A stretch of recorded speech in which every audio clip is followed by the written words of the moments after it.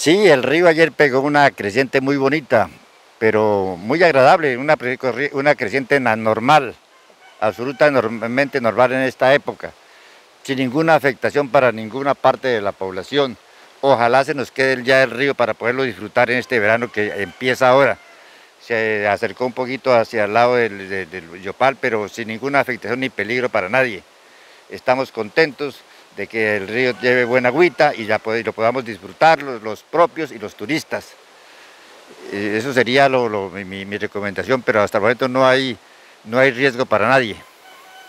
Algunos vecinos del sector han informado que se presentaban afectaciones en algunos sectores de, este, de, esta orilla del río.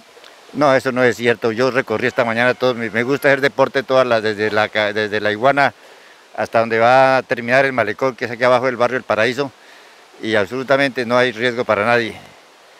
Creció, sí, como es, normal en esta época, y una buena lluvia que hubo ayer, eh, entonces nos, trajo agüita, pero de ahí no pasó nada.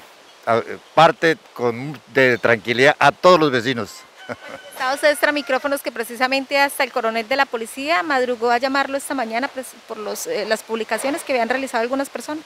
Ah, es que el coronel es muy alarmista, es muy amigo mío y ayer noche me llamó como seis veces que mirara el río que sonaba mucho y entonces me hacía levantar y ir a mirar, pero no, al coronel que tranquilo que el río va normal.